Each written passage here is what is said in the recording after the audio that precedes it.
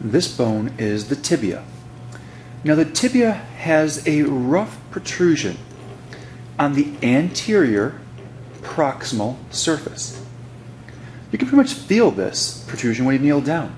Because when you kneel down, that's the part of the bone that is touching the surface you're kneeling on.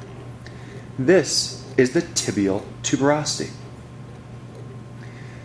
Now, if you go down from the tibial tuberosity, you go down to the distal end of the bone, can see this protrusion right here sticking off. This is the medial malleolus.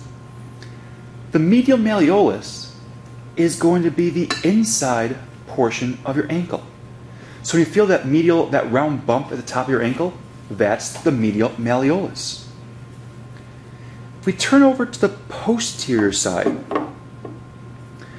we're going to have a sharp contrast of a line here. This sharp contrast is going to be the line for soleus.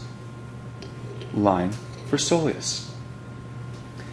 And right at the very top of the bone, you can see these smooth surfaces. Each one of these smooth surfaces is a condyle.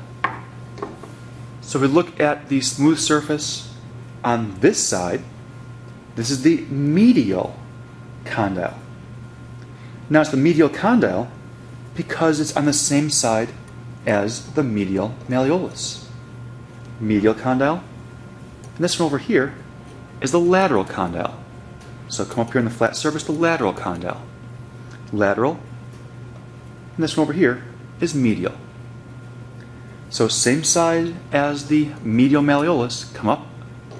Medial condyle, lateral condyle. Now what do these medial and lateral condyles articulate with?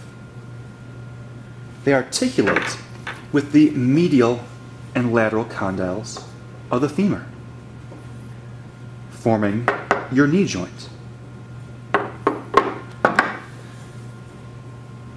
So, how do we know if this is a right or left? Well, we know the tibial tuberosity is anterior. We know the medial malleolus better be medial. So it has to sit as a right tibia.